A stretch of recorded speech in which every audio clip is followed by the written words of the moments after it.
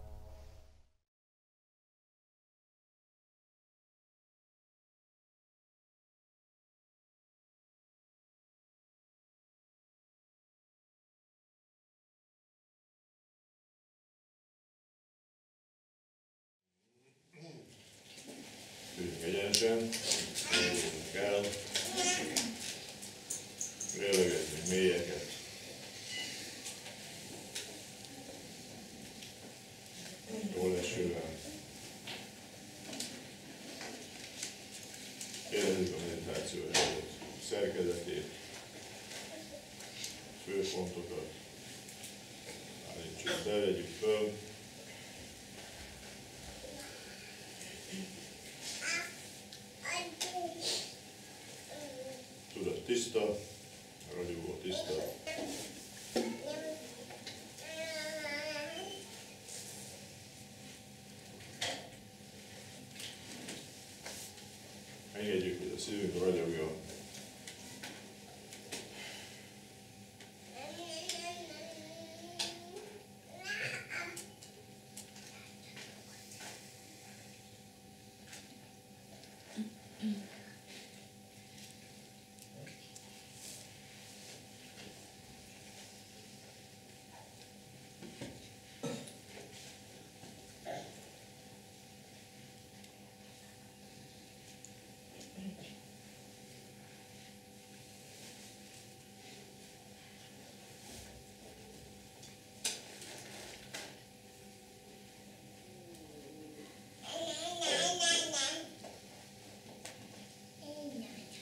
Keltsük fel a szeretetet, nyissuk meg a szeretet csatornáját a tanult meditáció segítségével.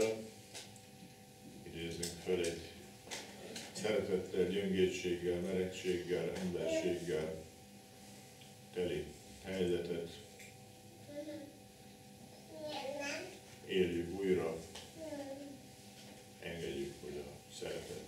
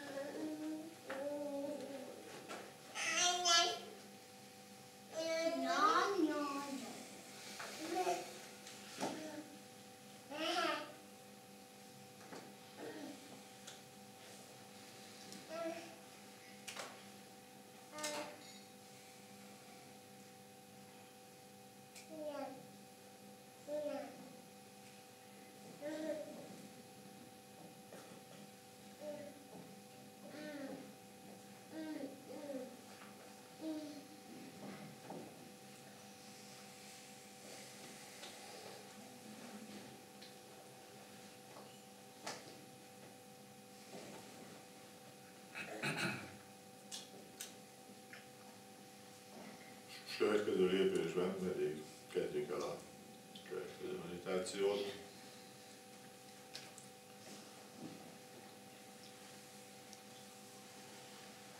Amiről az imént volt szó. Jelenítsük meg magunkkal, egy, magunkkal szemben magunk előtt egy szemét, konkrét szemét, akivel nehézségeink vannak.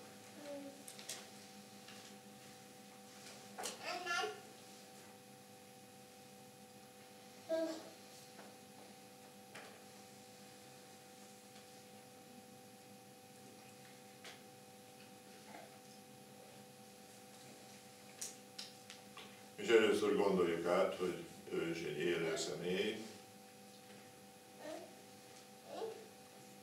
akinek joga van ahhoz, hogy boldog legyen a maga módján, elkerülje a szenvedést, szintén a maga módján. Ugyanúgy, ahogy nekem jogom van ezekhez.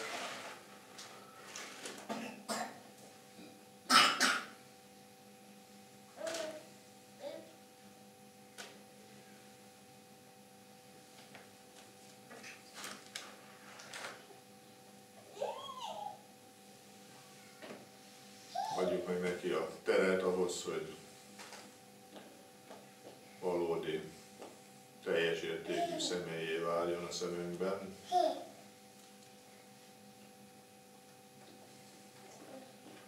Túléphessünk a szeret gondolkodáson.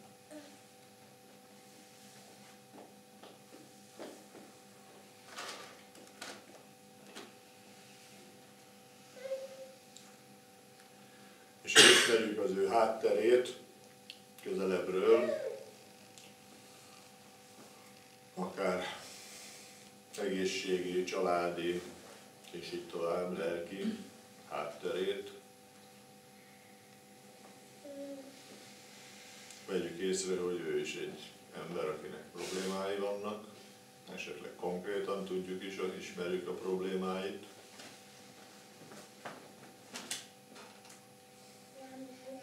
ugyanúgy, ahogy nekünk is problémáink vannak.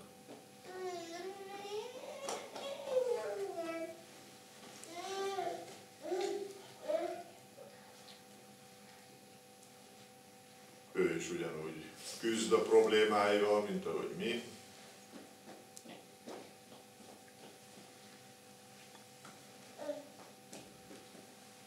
Őt is a boldogság hajtja, hajtja, minden gondolatát, minden cselekedetét. Boldog szeretne lenne ugyanúgy, mint mi.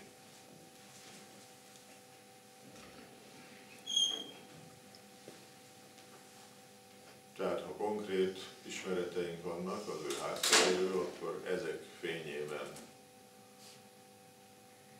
gondoljuk át, megértés, ez a megértést.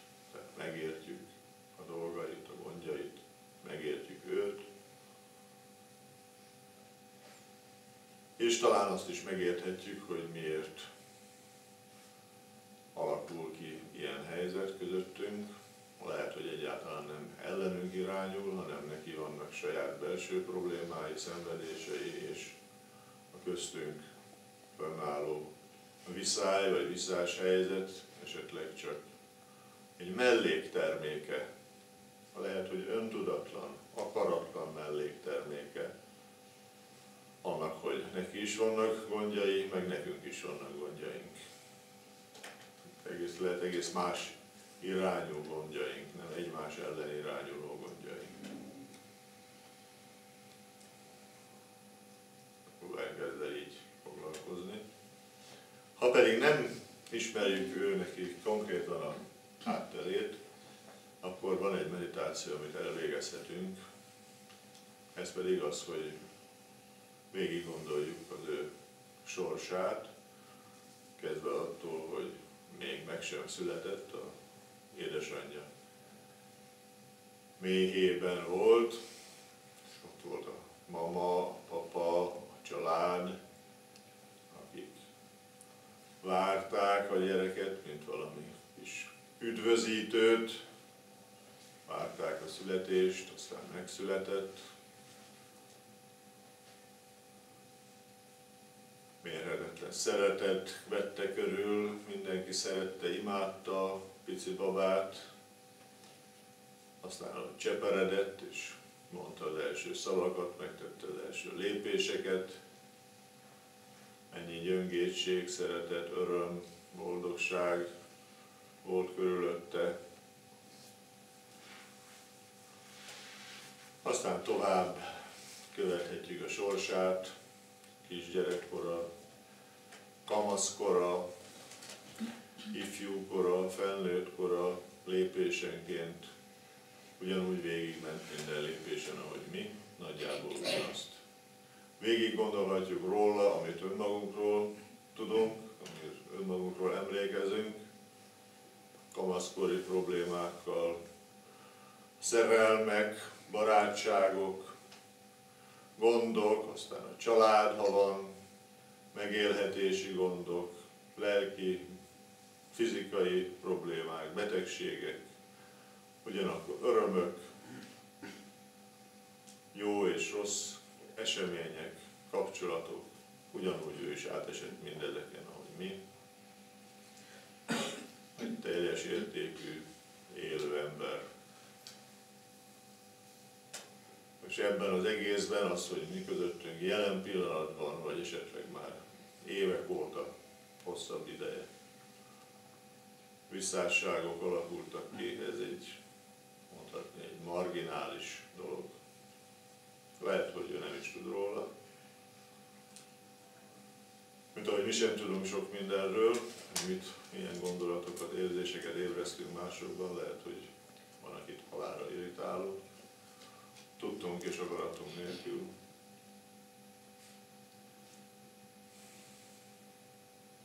De akkor derül ki, hogyha megházasodunk.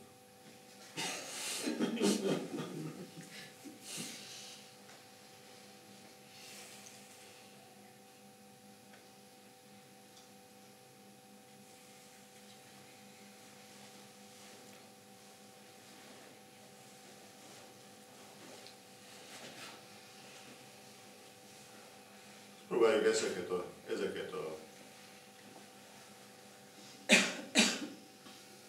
lehetőségeket megadni neki, ezeket a feltételezéseket megadni neki.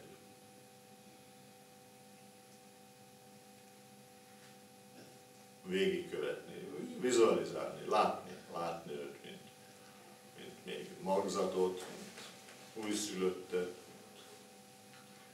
totyogó kis, gügyögő kis gyereket, kisiskolást, kamaszt, és így tovább. És ezt többször elvégezzük ezt a meditációt, akkor óhatatlanul ki fog alakulni bennünk a tudomás, hogy tényleg egy teljes értékű emberrel állunk szemben, akihez úgy lehet viszonyulni, mint egy teljes értékű emberhez, mint egy másik önmagunkhoz. És a helyére kerül viszály, vagy viszásság, ami köztünk esetleg fönnáll.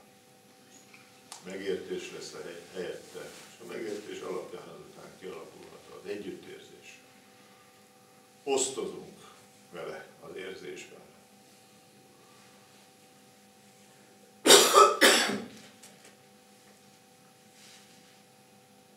Tehát próbáljuk most ezt tényleg a személyes módon a, ebben a személyes helyzetben végig gondolni és végig érezni. Ne csak gondoljuk, hanem érezzük. Tehát jelenítsük meg ezeket a dolgokat, amelyen elevenen lehet.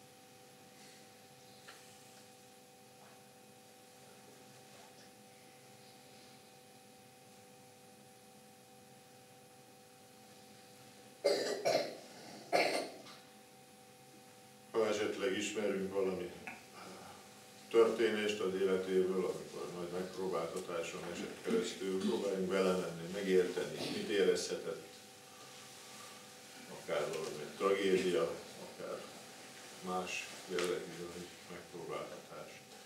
Próbáljuk meg megérezni, meglátni, hogy mint ember, min esett át. Hogy lehet a megértés.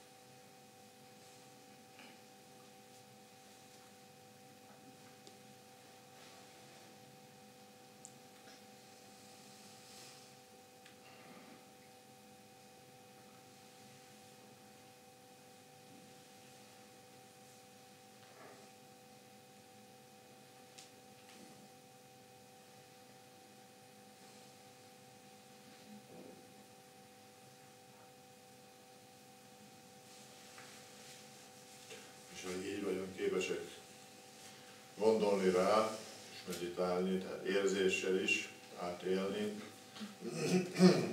gondolatainkat, akkor lehet, hogy lassacskán találunk valami szeretni valót ezen az emberen. Valamit. Vagy tisztelni valót, vagy elismerni valót. Valamit. Lehet, hogy egy kicsi dolgot. valamit, ami esetleg közös benne. Vagy mutatja az ő benne lévő emberség nyomát. Épp hajlandóak vagyunk észrevenni, akármit, szeretetre méltó, bármit. És az egy nagyon jó kapaszkodó már, azon el lehet indulni. Aztán lehet, hogy legközelebb egy kicsit több ilyesmit veszünk észre benne. És kezd az illető emberré válni a szemünkben.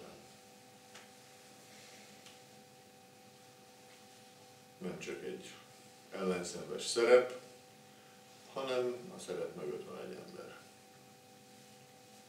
aki nagyon hasonlít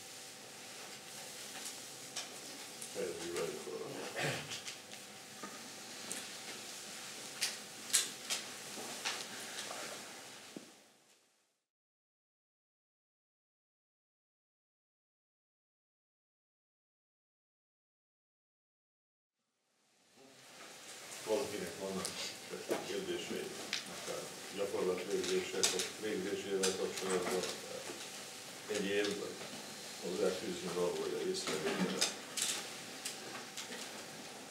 Tapasztalata, amit szeretne esetleg megosztani velünk.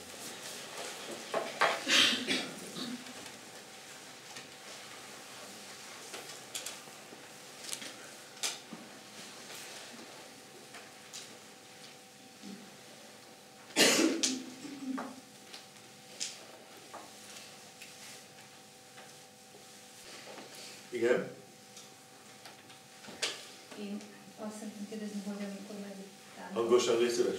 kétféle dolgot találkoztam én már, mint meditációs lehetőség. Az egyik ugye a simi, amikor, amikor én magam jelenek meg ilyen mozi, meg ez a kavalkád, amikor ami ugye történik, és arra figyelek, vagy pedig amikor egy konkrét dolgozunk, például most is, hogy valamire képzeljük el, vagy csináljuk ezt, és hogy, hogy ez számomra két teljesen különböző dolog, hogy hogy lehet ez mégis ugyanaz a meditáció. Szóval számomra ez teljesen... Hát ez két különböző meditáció, persze. Van a, két... van a siné meditáció, amikor az ember szünetet tart gyakorlatilag, és van a meditáció, ilyen meditáció, tehát ez egy elmélkedés mondjuk inkább, amikor van egy konkrét tárgya a meditációnak. És azzal foglalkozunk. Ez két, két teljesen különböző meditáció. Kettőt nem lehet összeegyeztetni, keverni, akkor egyikből se lesz semmi. Föl lehet rá készülni, bevezetőül lehet végezni a szünettartást, hogy az ember megszülesse, ember megszülje a belső teret a, a meditációhoz, mert a, az, hogy, hogy valami tárgyon elmélkedünk, azt is egyfajta meditációban kell végezni, tehát mit jelent ez? Nem lehet, tehát ez nem olyan, mint leülünk az íróasztalhoz, és így gondolkozunk valamin. Ja? Valamit meg akarunk oldani. Az egy más dolog. A meditációban az ember először teret teremt. Ja, egy belső teret teremt, és abban e, foglalkozik a meditáció tárgyában. Tehát, csak így leülök, de nagyon fontos továbbra is a meditáció helyzet, testhelyzet, mert a belső teret meg kell teremteni a meditációhoz. És ebben a térben azután foglalkozunk a meditáció tárgyával, tehát egyfajta témával. Ja? Így a kettő mondjuk hogy egymást követi. Hát az nem elég, hogy leülök és, és, és töprengek. Van, aki töprengésnek fordítja a meditációt. Ez egész más. Eltöprengek, vagy elmerengek dolgokon. Ez egész más dolog. Ja? Ez egész, az nem meditáció. Tehát fontos, hogy a helyzet, rendet, testhelyzet meg legyen, a belső tér és abban a belső térben teljes lelkünkkel, nem csak az eszünkkel, hanem teszünkkel, lelkünkkel, elmélyülünk a, a, ebben a, feladatban, vagy ebben a, ebben a tárgyban, a meditáció tárgyában. De ugyanakkor ez egy teljesen másik, másfajta meditáció, mint az egyszerű békés nyugvás meditáció, ami, ahol a gondolatokkal nem foglalkozunk, a gondolatokat nem éltetjük, nem keltünk föl gondolatokat, hanem ott a gondolatokra rálátunk, rálátunk, gondolatok természetét értjük meg abban a meditációban. Vagy mondjuk látjuk át, gondolatok természetét látjuk át. Kettőt nem lehet összeegyeztetni.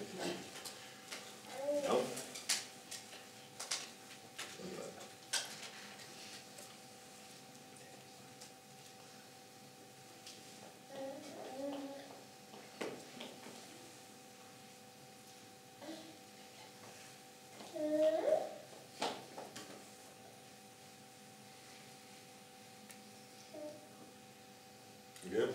Nekem van egy kérdésem csak alá, hogy ö, a, mondtad, hogy a, mindenkinek a saját maga módján boldognak lenni, meg a saját igazságához. És uh, én a, az edzésen ugye vezetem a klubot, tanítom az emberkéket, és uh, próbálom megtalálni ezt az egyensúlyt, hogy ne legyen diktatúra, de, de mégis azért haladjunk előre. Igen. És, és, és sokszor nehéz megtalálni az egyensúlyt, hogy ne az legyen, hogy elnyomom őket és rájuk erőltetem az én igazságomat, hanem, hanem hogy ők is ki tudjanak bontakozni, hogy milyen tanácsot tudsz adni, hogy például ilyen esetben, amikor, amikor tehát valaki vezet egy csoport embert uh-huh. valamilyen ösvényen, vagy valamilyen témában, akkor hogyan, vagy mi, mik legyenek azok az alapelvek, amiket figyelem, szem, szem előtt tartva azért mégis meg lehet adni nekik a szabadságot. Uh-huh. Hát ez nyilván sok mindentől függ, ugye függ attól, hogy ezek hány évesek, mivel foglalkoznak, tehát mi, ugye nálad egy, egy harcművészeti csoportról van szó, harcművészeti csoportról van szó.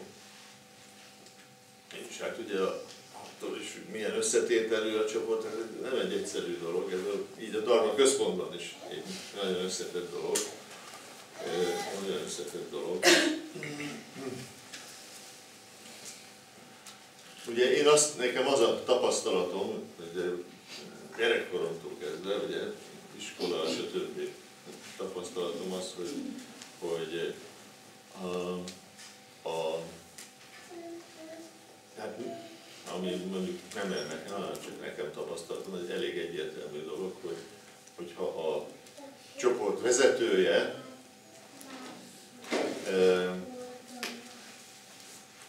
egy, tehát önmagában egy kiegyensúlyozott és mondjuk, hogy sugárzó ember, ja, tehát mert megvan a belső békéje, kiegyensúlyozottság, és, és el, ebből, erre alapuló magabiztossága nem egy, egy hogy mondjam, nem egy, egy erőszakkal, erőszakra alapuló magabiztossága, akkor ez a legnagyobb, hogy mondjam, vezető erő a csoport számára. Ez a leg, legerősebb vezető erő. Hát akkor a többiek is képesek ellazulni, a többiek is képesek ellazulni, mert érzik, hogy itt valami olyan dolog van jelen, ami, amiben bízni lehet. Ez, a, ez azt hiszem a legfontosabb. És ugye a Dharma is erről beszél, hogy ugye, ha van egy közösség, akkor nagyon fontos, hogy jelen legyen valaki, aki kicsit a csoport előtt jár, legalább néhány lépéssel.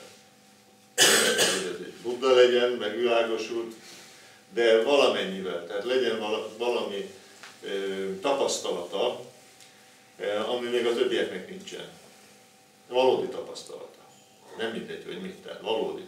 Darmáról van szó, darma tapasztalata legyen. Tehát önmagáról legyen neki egy, önmagára legyen rálátása és önmagával kapcsolatban legyen tapasztalata. Úgyhogy én azt hiszem, hogy ez, ez mindenhol megállja a helyét. Ha például visszagondolok a iskolai iskolába a tanítóimra, ugye ott különböző módszerekkel próbálnak a tanítók ugye gyerekben maradni. Én csodálok, én minden tanítót csodálok, mert elképesztő, hogy lehetetlen feladat. Ugye, hát gyerekek, akiket egy héten egyszer találkozik, és a következő óra egy, egy teljesen más csoporttal találkozik nem is tudom, hogy, hogy képesek az emberek ilyesmire vállalkozni. És vannak ilyenek, vannak ilyenek. Biztos kormányuk ilyen, hogy ebben is nincs választás. A lényeg az, hogy vannak ilyen emberek, és én ezt tisztelem és csodálom. Mindenesetre az ember látta, hogy mennyi különböző stratégiát mutatnak a különböző tanítók. És volt egy-egy itt-ott, akinek igazából nem volt stratégiája, hanem egyszerűen önmagában egy olyan ember volt, hogy nem kellett semmit csinálnia, mert egyszerűen az emberek elfogadták őt. Tehát ez volt nekem ilyen művész tanárom a gimnáziumban, meg egy-két ilyen tanár volt, általánosban is volt ilyen. Aztán voltak, akik hiába próbáltak, világ összes stratégiájával hiába próbálkoztak, szerintem nem állt össze nekik. Akkor azt úgy nem tudtuk, csak kihasználtuk. De így visszagondolva, visszagondolva az ember, ugye így már fölfogja, fölfogja. Tehát jó akaratú emberek, meg jót akartak, meg elvben minden adva volt, de mégis valami nem volt, és nem működött az egész. Tehát én azt hiszem, hogy ez a fő dolog. A többi pedig, többinek nyilván, hát ugye kell stratégia is, mert másképp kell megszólítani egész fiatalokat, meg stb. különböző korosztályokat, fiúkat, lányokat, tehát ilyenfajta tapasztalat is kell. De azt hiszem ez a, ez a, ez a legfontosabb. Legfontosabb. Ugye, nyilván van pedagógia, például ugye, a, a, hogy hívják, a Darma központban is mindig nagyon hasznosnak bizonyos Stalin elvtársnak egy híres pedagógiai betanítása, amikor is azt mondja, hogy, hogy ami nem, nem megy, azt nem kell erőltetni. Ilyen. Vagy egy másik, hogy egy gyermeket hogyan tanítjuk meg rendesen enni az asztalnál. Először arra kell megtanítani, hogy a padlór ne legyen koszos evés közben. Ja? Utána arra kell megtanítani, hogy a ruhája ne legyen koszos utána arra kell megtanítani, hogy az asztal ne legyen koszos. Ja? ne szemetelj, egy kisebb körbe szemetelje mag. Hát ilyen stratégiákra szükség van, az biztos, tehát hogy minden, minden területnek megvannak a saját maga stratégiái, de azt hiszem a legfontosabb az mindig az, hogy, hogy, hogy az illető, a vezető van egy belső rendje, ami nem egy erőltetett rend, hanem abból fakad, hogy valahol tart önmagával. Van egy belső útja, és valahol tart önmagával. Méghozzá én előttem egy pár lépéssel, és akkor én tudom követni, tudom ezt tisztelni. És, akkor tudom, hiába próbálkozom, mert nem működik. Valahogy nem, nem tudok rajta kifogni, mert nem működik. Aztán megpróbálják persze, mindenhol, itt közösségekben is megpróbálják, ugye próbálkozások mindig vannak, de valahogy nem, mégsem áll össze, nem működik. Nem működik. Azt hiszem, hogy ez a, én ennyit tudok mondani, aztán nagyon sok az improvizáció, már úgy értem improvizáció, hogy a közvetlen válasz, ugye, amit meg ott kell megszületni abban a pillanatban de van, biztos stratégiára is szükség van, de hát azt ugye így kívülről nehéz megmondani. Nehéz megmondani.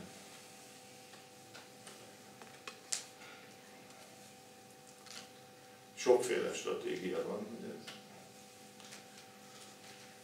Van, amikor keménynek kell lenni, van, amikor az ember nem engedékeny, nem arra, amikor nem szabad engedékenynek lenni, hát ez, ez, ez, ez ezt a helyzet szüli. A helyzet szüli.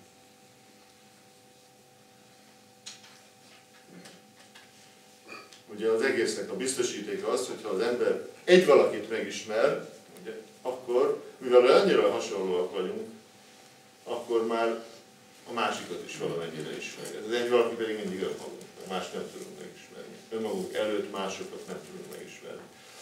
Ha önmagunkat valamennyire ismerjük, akkor már ráismerünk dolgokra másokban, amit már értünk, mert önmagunknak már megértünk.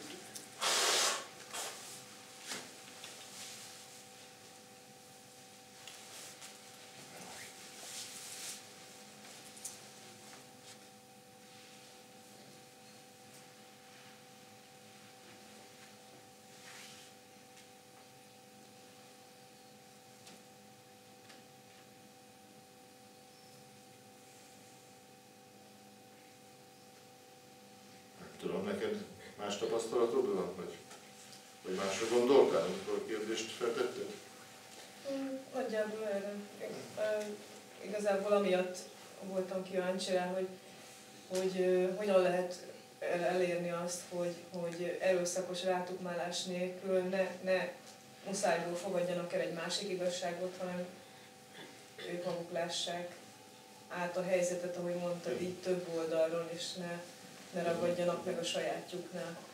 És hogy ki az, akinél ezt mutatva kell, ki az, akinél bele kell nyomni az órát, nem is az, hogy ki az, hanem hogy, hogy mi az egyens, tehát az egyensúly próbál megtal, megtalálni ezek között a módszerek között, mert néha kell az, hogy belenyomjam az órát. Az egyensúly az itt bent van, a mézes az te benned van, nem ő benned, az te benned van. Ez egy nagyon érdekes. Tehát ha az embernek van egy, hogy mondjam, munkája önmagával, akkor, akkor belül, önmagunkban vannak bizonyos küszöbök, amiket viszont keményen tartani kell. Tehát van, amit nem szabad átlépnünk önmagunkkal. Amikor érezzük, hogy ez már olyan, tehát olyan, hogy mondjam, mezőre lépek, ja, ahova nem szabad, akkor nem szabad oda lépni. Hát ez főleg az érzelem. érzelem. Tehát érzem, hogy ez már túl sok nekem, abban a pillanatban le kell állítani, nem szabad tovább menni. Nem szabad, hogy elragadjon a helyzet. Ez, nehéz, ez nagyon nehéz, ez különösen ugye ilyen helyzetekben nagyon nehéz. Élő harci helyzetekben ez nagyon nehéz. Ugye, hogy Chantilly mondja, mint a tuskó mozdulatlan maradok, igaz?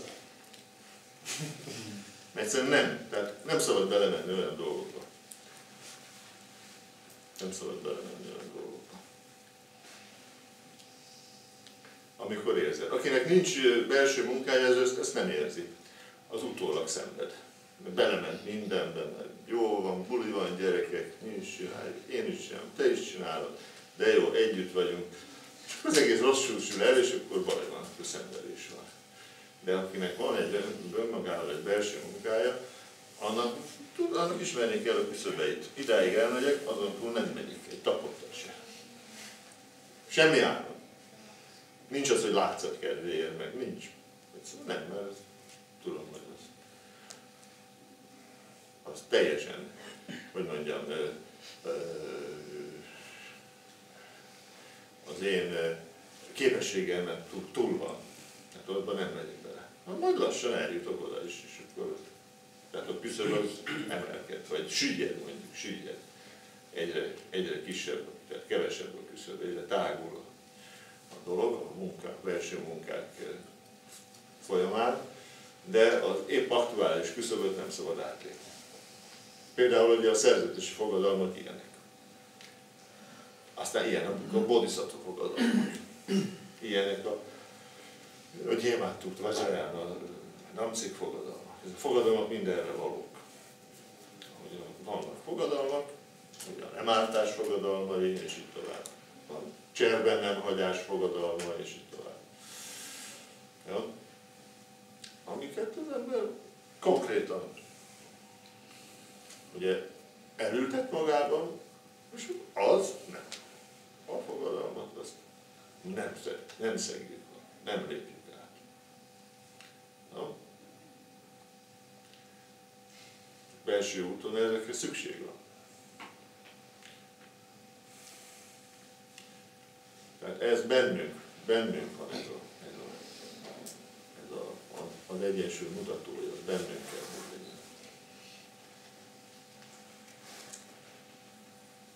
Ugyanígy van egy csoport, és akkor ott, akinek van belső munkája, ezt tudja, hogy na gyerekek, most itt abba hagyjuk, most itt leállunk. Most itt leállunk.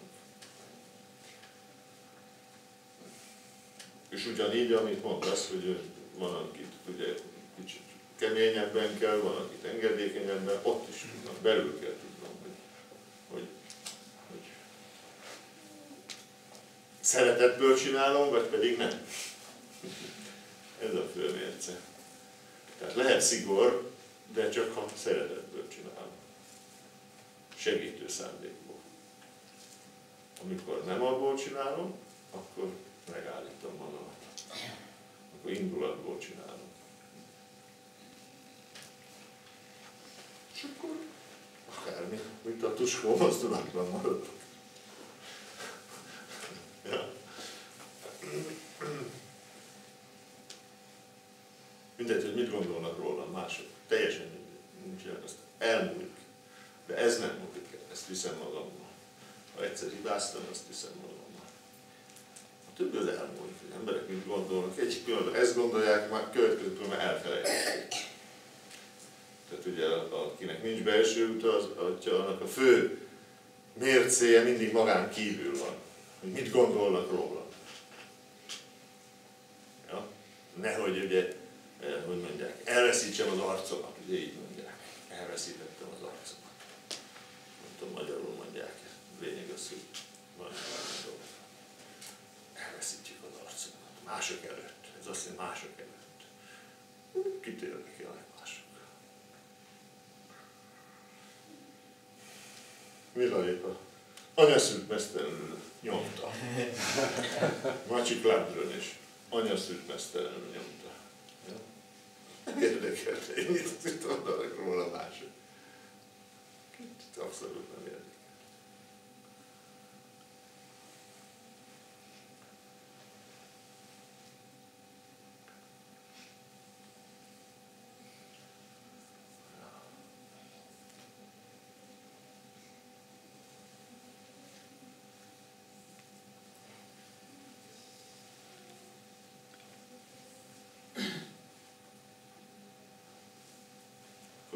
Vilarépát meglátogatta a nővére, és látta, hogy először, és látta, hogy nincs ruhája, mesztelen, stb.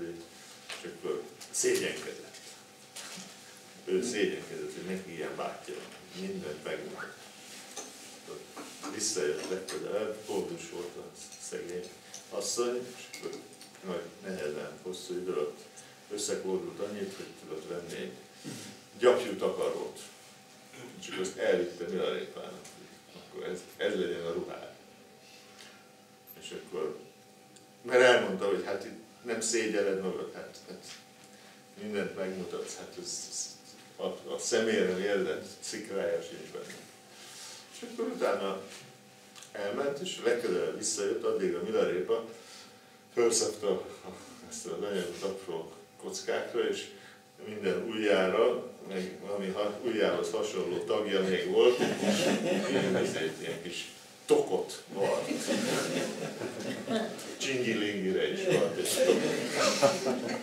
És akkor megjött a, a nővére, és akkor láttam, hogy minden be van szépen tokba varva.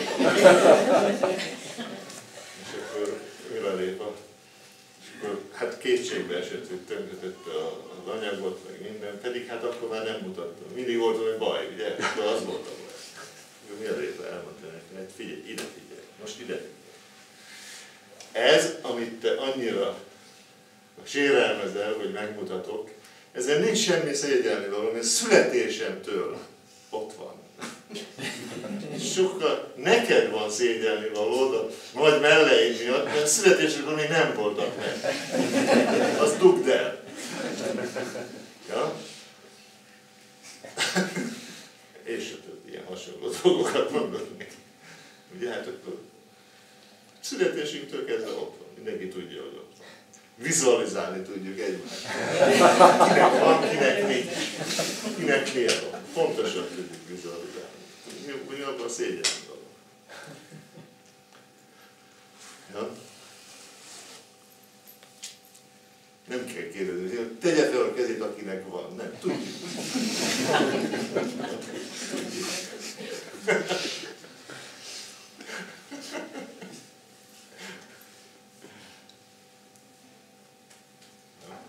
Tehát ugye ez a problémánk, mindig a külső viszonyítási pontok támaszpontok kellene mindig oda.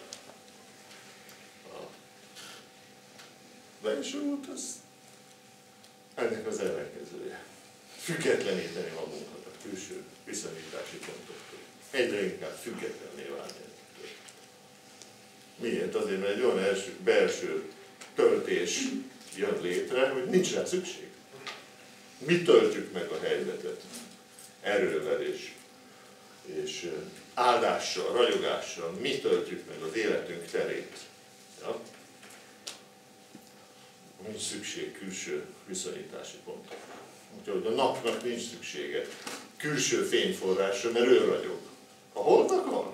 A hold mi lenne a nap nélkül? Jó? A hold csak tükrözi a napot, vagy a föld.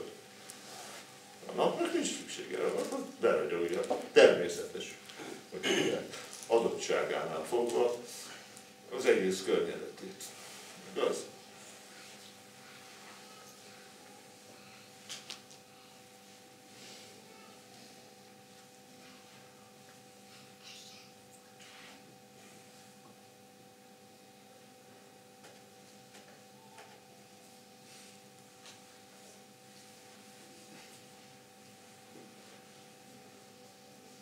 Jó. Nos, hát akkor látom, hogy ez elég volt már. Akkor köszönöm nektek a mai napot, és eh, akkor ajánljuk fel az érdemeket összes lénynek, mert végül is ez volt a, ez az igazi értelme annak, hogy most ma is itt voltunk. Ez az igazi értelme, az a, az a meditáció, az a gondolkodás, ami itt folyt, egyetlen egy cél szolgált, azt, hogy a világ javát előmozdítsuk. Az összes lény javát előmozdítsuk. Magunk módján, magunk ütemében, a lépésről lépésre, de a végső cél az mindig ez. Ezért a érdemeket felajánljuk az összes lény javáért. Gondolatban. Gondoljuk ezt át, a fontos a gondolat. Gondolat. Gondoljuk azt, hogy ez a mérhetetlen szeretet energia, aminek a természete meghaladja a téridő fogalmait is. Tehát ez egy olyan energia, amivel nincs az, hogy, hogy eh, hely, nincs az, hogy idő, nem helyhez és időhöz kötött. Mit jelent ez? Ez azt jelenti, hogy ez az energia hatással van a világ legtávolabbi zugában élő lényekre is. Ha? És nem csak ebben a jelen pillanatban, hanem a jövőre. A jövőben élő lényekre és a múltban élt, élt lényekre is kiad. Mindenkire kiad. Tehát ez a fajta szeretet energia, ami tér időn túl van, közkincsé. És ennek a erejével, ennek a segítségével érje el az összes lény a tökéletes megvilágosodást, fölébredést, boldogságot, tartós boldogságot. Tehát nem a pillanatnyi boldogságot, a változékony boldogságot, hanem a végső tartós boldogságot.